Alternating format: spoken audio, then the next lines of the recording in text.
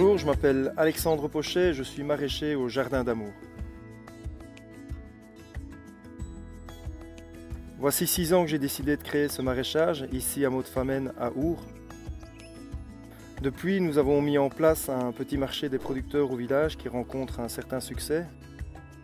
Créé avec d'autres partenaires un magasin de producteurs sur Borin et bien d'autres choses.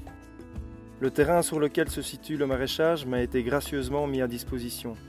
Aujourd'hui, la propriétaire a décidé de vendre, mais il m'est impossible à l'heure actuelle de financer ce bien.